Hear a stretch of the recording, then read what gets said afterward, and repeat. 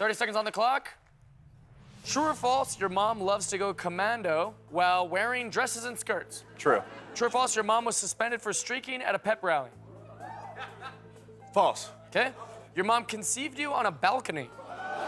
True. Okay. Your mom went skinny dipping in the reflecting pool at the Lincoln Memorial? False. Okay. Your mom was once arrested for disturbing the peace? True. All right, let's see how you do. Good work. You got those in uh, 30 seconds. Got some interesting ones here. All right.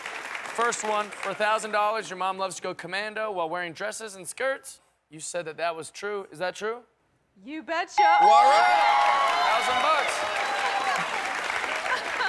No one's ever said about a sexy thing, you betcha. That's not a, such an unsexy sentence for such a sexy thing. you commando under there? You betcha. All right. The next one was your mom was suspended for streaking at a pep rally, and you believe that to be false. Is that true or false? Sounds like fun. It's false. Off a thousand bucks. But she's not opposed to it. All right, true or false? Your mom conceived you on a balcony. You said that that's probably true. Is it true or false? It's true. 3,000. Killing it. On a balcony. Tell us more about that.